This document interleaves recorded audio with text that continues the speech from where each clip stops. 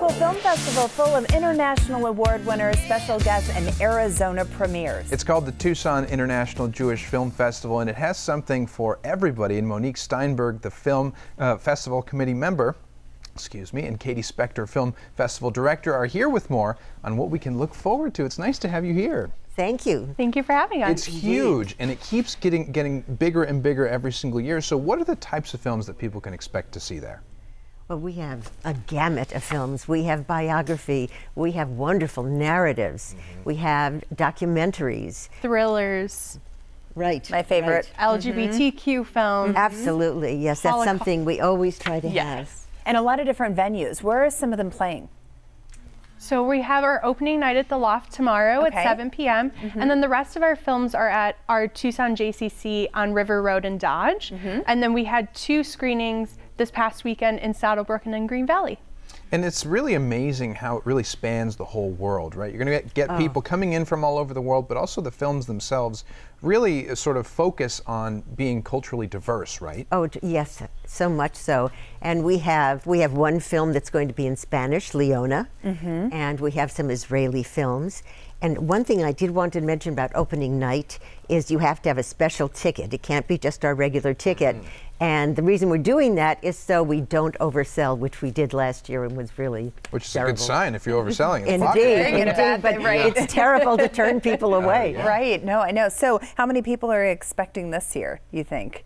Well, we what our max is three 370, 370. at the loft, uh-huh. but we get about 3,000 people throughout our whole festival. Oh my oh, goodness! Yeah, indeed, yes. Well, you know, and I love the way that you you know reach this broad audience. You know, this large um, brushstroke, and that when we're learning about different colors, uh, cultures, like Alex mentioned, it's important not just to read about it, but really to feel the emotion of it. Right? Just feel like we're personally impacted by this. Do you agree? Oh, definitely, definitely.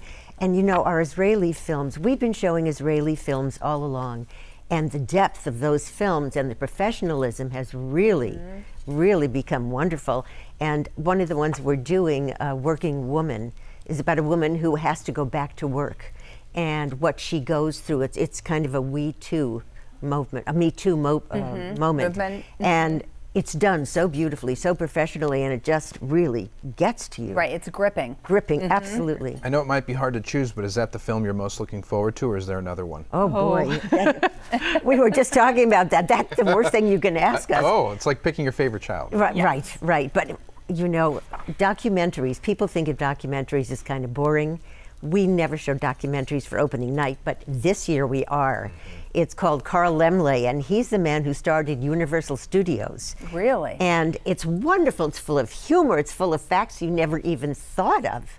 About the history of Nickelodeon theaters right. and how they show you you know, Universal Studios before it was even Universal Studios when it was just an open lot. And so it really is the history of Hollywood and Indeed. the history of film with also just a Jewish touch in there because mm-hmm. not many people know that Hollywood is Jewish. Right. So. And you don't have to be Jewish to go no. to Oh, absolutely. Everybody's not. invited to come. Do you have a favorite film you're thinking of? I definitely have a favorite film. It's called Fiddler Miracle Miracles. Oh. And it's the history behind the film Fiddler and it's the show Fiddler, it is definitely my top one film. So hard to choose, but how did you guys select which ones you wanted to feature?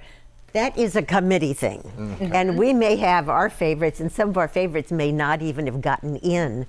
But it's truly a committee thing. We watch the films, we vote on them, and and that's how it's done. And the lovely committee does start the week after our film festival yes. ends. I we would immediately imagine start so, yes. screening yeah. films and seeing which ones we want. And sometimes it takes us to the deadline and we find a great, you know, we found a film, uh, Catcher was a Spy with Paul Rudd, which is one of our closing like films. Mm-hmm. And we found that I think two weeks before our deadline of right. choosing our films. Wow, great yeah. lineup, and of course it is an organization. You need the public support. It's this oh. huge oh. festival that gives back so much. So if people, aside from going to watch the movies, obviously, how else can they support this mission? Well, so, well, go ahead. yeah. so they can also support us by being a film sponsor. So we're always looking for sponsors, mm-hmm. either organizations or different businesses or even people. You can sponsor a film or sponsor concession stands. We're always hoping for donations to help this continue. This is our 29th year, and we want to go 29 more and even more so than that. We, we want to be able to support it too. And uh, actually,